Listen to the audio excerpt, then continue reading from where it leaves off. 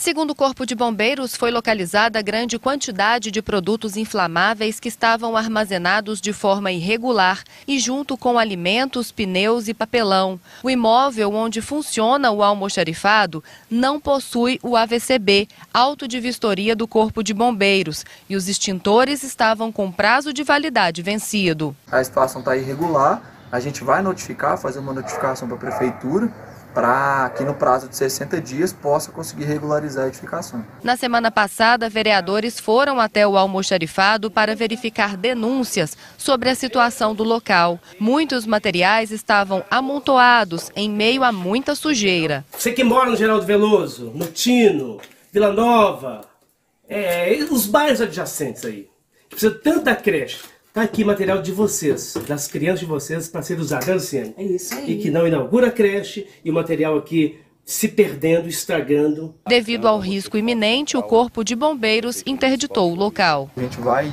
como diz, auxiliá-los a retirada desse material e reorganização. O lacre lá só nós podemos cortar, beleza? O padrão de energia vai ficar desligado, até por conta da fiação exposta lá dentro.